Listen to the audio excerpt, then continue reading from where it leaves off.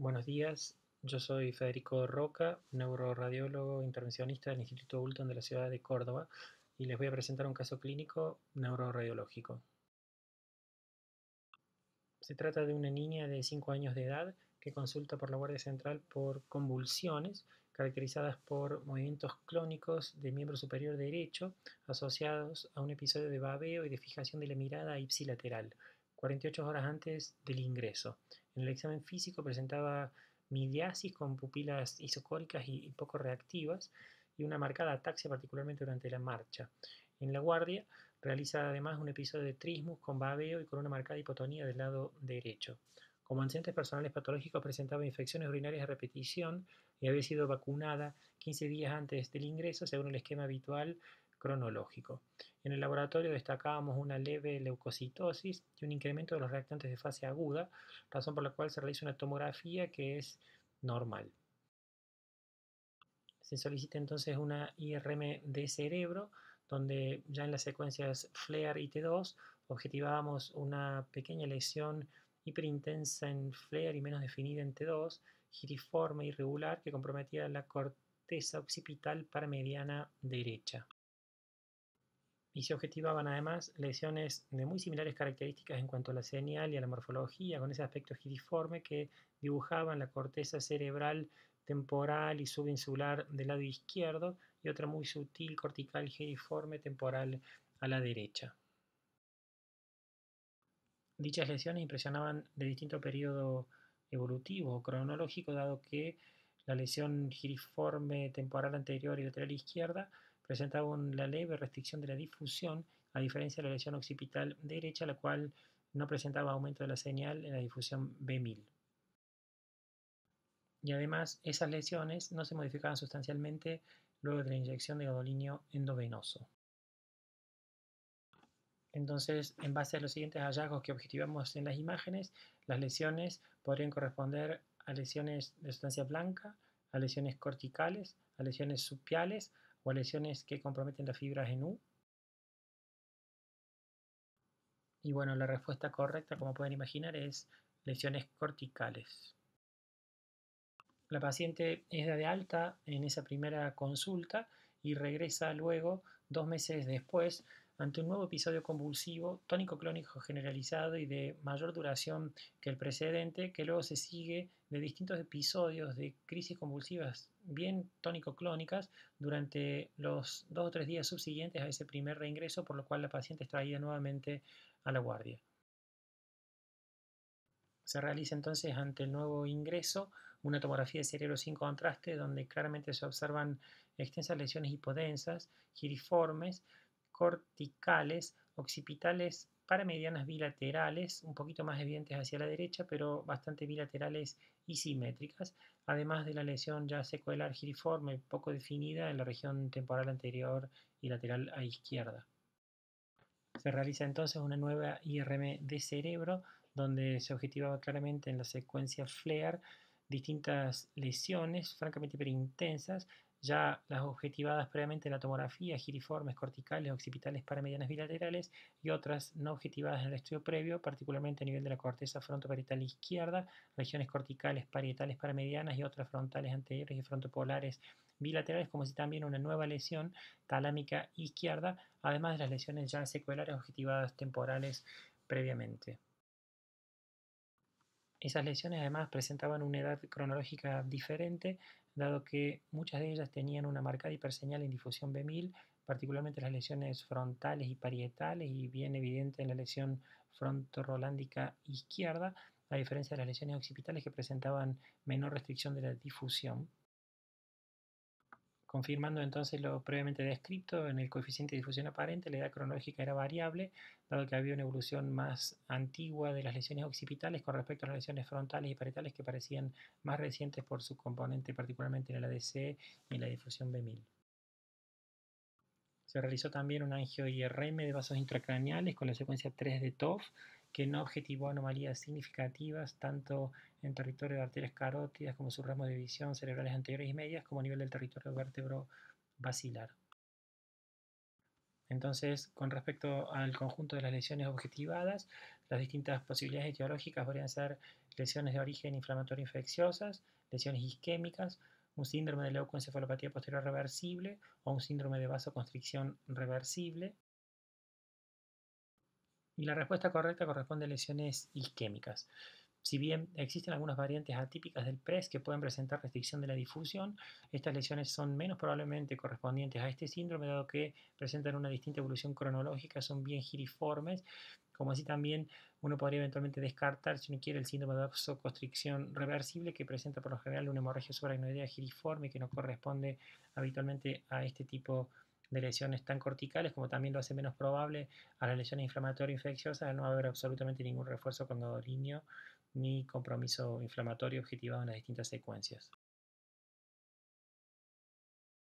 La paciente finalmente, después de aquel episodio, fue dada de alta con una evolución favorable, no volviendo a repetir crisis convulsivas, las cuales fueron controladas con el tratamiento médico específico, pero meses después consulta por un marcado deterioro del estado general, con vómitos incoercibles, en el examen físico la paciente presenta una marcada deshidratación, está desorientada y tiene pupilas midriáticas poco reactivas, presenta fasciculaciones en la boca y mioclonías muy marcadas ahora en el miembro superior izquierdo. Estaba en un estado francamente caquéctico y desnutrida muy severo, adoptaba una posición fetal y no tenía prácticamente conexión con el medio ambiente, es decir, una evolución muy severa y torpe al estado clínico de una chica de 5 años que solo había presentado crisis convulsivas de repetición sin una etiología específica y que en cuestión de 3-4 meses se deteriora de manera muy severa con una caquexia y una desnutrición muy marcada.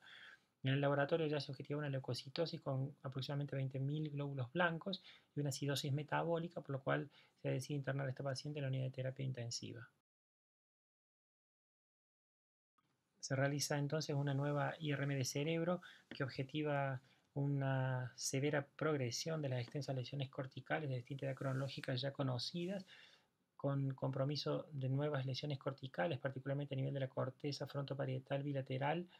como así también otras lesiones profundas, talámicas bilaterales de la fosa posterior, regiones frontovasales y temporales, es decir, una extensa progresión de las lesiones corticales que prácticamente afectaban la totalidad de ambos hemisferios cerebrales, con algunas lesiones insulares y otras profundas, y de vuelta con aparentemente distinto periodo evolutivo, pero francamente en progresión comparativamente a las resonancias previas. Confirmando entonces lo que describimos previamente, ahí tiene la secuencia de difusión B1000 arriba y el coeficiente de ADC abajo, donde vemos esa naturaleza tan evolutiva y de progresión desfavorable de las lesiones que objetivamos previamente, con distintos periodos evolutivos, dado ese componente de hiperseñal en B1000 y del ADC, que es muy variable con las distintas lesiones, aunque ahora claramente veíamos muchas lesiones nuevas que no habían sido objetivadas en los exámenes previos. A la paciente se le repite de nuevo una angio-IRM que no presenta anomalías significativas y se realizan secuencias de espectroscopía protónica en algunas de las lesiones, particularmente en la lesión occipital derecha que vemos en el examen. Vimos una conservación relativa de picos de colina y creatina con una disminución de picos de N-acetil aspartato y un característico pico doble invertido de lactato. Entonces, con el conjunto de estos hallazgos podríamos discernir la etiología de este cuadro, probablemente en relación a una enfermedad mitocondrial, a una vasculitis, a una enfermedad por priones o a una encefalitis autoinmune. Y la respuesta correcta, como estoy seguro que todos pudieron realizar, es una enfermedad mitocondrial.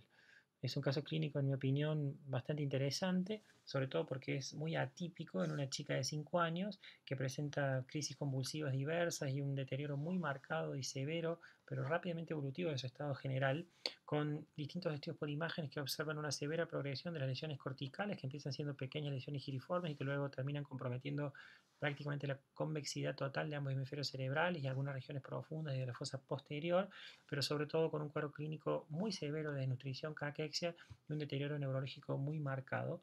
con un, examen muy positivo de laboratorio y muy sugestivo al final, que es una acidosis metabólica, y con una espectroscopía de esas lesiones corticales que tiene un doble pico invertido de lactato, lo cual nos tiene que poner el sello y por lo menos considerar en nuestro aspecto diagnóstico a las famosas enfermedades mitocondriales. Esto fue confirmado luego por una biopsia muscular donde se objetivan las típicas fibras rojas y rasgadas con un notable incremento en el número y en el tamaño de las mitocondrias, las cuales tienen además un marcado incremento de su contenido lipídico como hallazgos más significativos anatomopatológicos de estas complejas mitocondriopatías. El diagnóstico definitivo entonces es un MELAS, que es una encefalopatía mitocondrial con acidosis láctica y episodios de stroke-like, es un característico trastorno multisistémico hereditario que está causado por mutaciones en el ADN mitocondrial y que característicamente se asocia a accidentes cerebrovasculares en pacientes jóvenes menores de 40 años, a una encefalopatía, como tuvo finalmente esta paciente, caracterizada por crisis epilépticas focales o generalizadas, a una típica acidosis láctica y a la presencia de las clásicas fibras rojas rasgadas en la biopsia muscular.